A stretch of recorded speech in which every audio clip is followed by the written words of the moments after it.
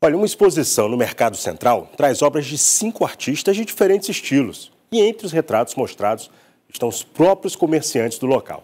A Mayra Monteiro vai mostrar para gente. A exposição é aberta gratuitamente ao público na Galeria do Mercado Central.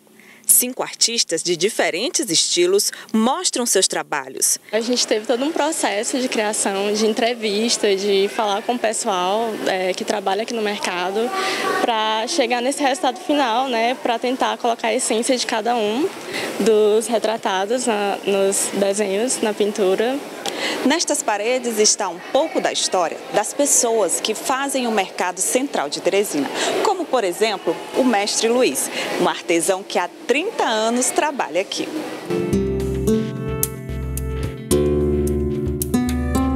A retratação desse, de nós lá em cima enriqueceu muito o nosso setor, principalmente o memorial. E para mim é uma honra estar lá no meio dos outros, fui um dos escolhidos. Graças a Deus a gente fica honrado com isso.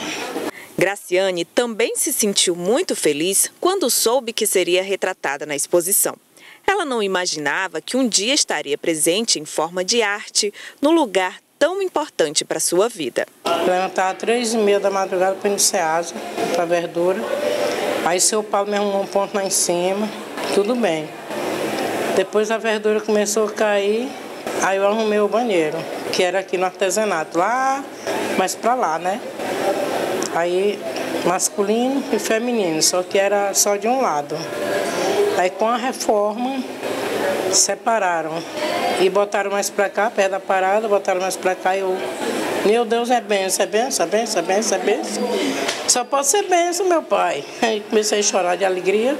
Além dos trabalhadores, os artistas também quiseram representar pessoas que frequentam o espaço. Quando eu estava dando as voltas no mercado, eu estava pensando nisso, em pegar alguém, qualquer pessoa, podia ser qualquer pessoa que passasse assim, achasse mais é, interessante em relação ao perfil de pessoas que passam por aqui todo dia. Aí eu pegava e colocava na parede.